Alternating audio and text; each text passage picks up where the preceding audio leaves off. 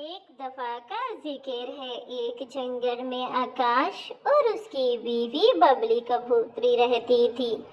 बबली सुंदर होने की वजह से कबूतर से शादी करती है। उसकी एक बेटी है, जिसका नाम रानो होता है। वो भी बहुत छोटी थी। मम्मा मम्मा, जंगल के सारे पंछी स्कूल जाते हैं। मेरा कब एडमिशन कराएँगी? मैं भी स्कूल जाना बेटा, करा दूँगी करा दूँगी। इस दफ़ा जो फ़सल है, करा दूँगी। फ़िक्र ना करो, ऐसे ही बबली और आकाश सारा दिन अपने तरबूज के खेत में। आकाश जी, बात सुनिए। रोज मुझे रानू बिटिया कहती है कि, मम्मा, मेरा कब दाखला कराएँगी स्कूल में? मैं क्या कहूँ उसे? अब करा ही देते हैं। बहुत बड़ी हो गई है अब तो। बताइए आकाश जी, क्या करना बबली जी, कह तो आप ठीक रही हैं। अब तो हमारी रानो बिटिया बड़ी हो चुकी है। कल ही एडमिशन कराते हैं, बस ये तरबूज बिक जाए। ये सोचकर वो दोनों घर चले जाते हैं। माँ माँ, क्या आपने बाबा से बात की मेरी पढ़ाई की?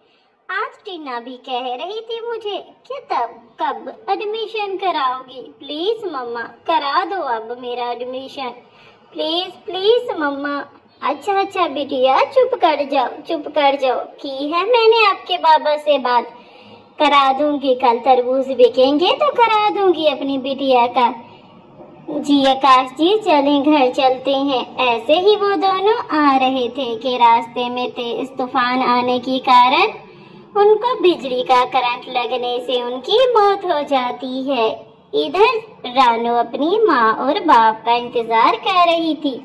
अभी तक पापा और मम्मा नहीं आए। कालू अंकल के पास जाती हूँ। कालू अंकल दरवाज़ा खोलें। कालू अंकल कालू अंकल, कब से इंतज़ार कर रही हूँ? इस वक्त तो मेरे मम्मा पापा आ जाते हैं।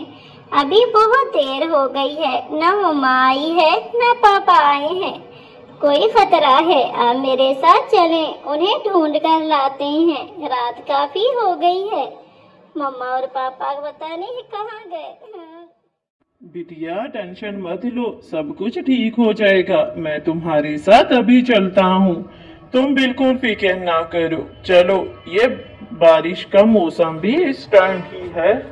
ये क्या? वो देखो बेटा, कुछ है वहीं पर। चले देखते हैं मेरे पापा मेरी मम्मा करंट लग गया है उन्हें बिजली का। अब मैं किसके सहारे जीऊँगी? क्या करूँगी मैं? किधर जाऊँगी? इनके सवा तो मेरा कोई नहीं था। कालू अंकल, अब बताओ मैं क्या करूँ? किधर जाऊँगी? बिटिया, तुम्हारी मौसी को अभी फ़ोन करता हूँ। तुम उसके साथ रहो। तुम्हारी मौसी तुम्हें आकर ले जाएगी।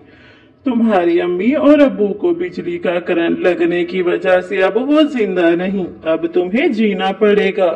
हौसला करो हौसला करो। कुछ नहीं होगा। ऐसे ही कालू उसे उसकी मौसी के घर छोड़ आता है। वो खिड़की के बाहर सब सुन रही थी। जब उसका, देखो गोरी, तुम्हें तो मैं बर्दाश्त कर रहा हूँ, क्योंकि तुम मेरी बीवी हो, और तुम अपने मैके से इस बच्ची को भी साथ लेकर आई हो। मैं इसे बिल्कुल बर्दाश्त नहीं करूँगा। बताओ, इसे कहीं छोड़ कर आओ। हाँ हाँ क्या करूँ? मैं तो खुद परेशान हूँ। अभी तो ये बच्ची है। कल को जवान होगी। फिर इसे दहेज में कुछ कुछ देना पड़ेगा। मैं सोच रही थी रात को खाने में जहर दे देती हूँ। फिर मर जाएगी, जान छूट जाएगी हमारी इससे। ऐसे ही वो दोनों बातें कर रहे थे कि इधर से खिड़की से रानू सब सुनकर कालू भैया के पास जाती है। कालू भैया, मेरी मम्मा वाला घर कहाँ है? मैं वही रहूँगी। मेरी मौसी मुझे जान से मारना चाहती है। वो मुझे जहर देकर मारना चाहती है। मेरा घर। बिटिया, वहाँ पर तो चील ने आकर कब्जा कर लिया है। अब तुम कहाँ रहोगी? अब तुम्हें वापस जाना ही पड़ेगा। अब तुम्हारे पास कोई ठिकाना नहीं। वो घर तो कब्जा कर लिया है चील ने। अब बिटिया क्या कह सकता हूँ?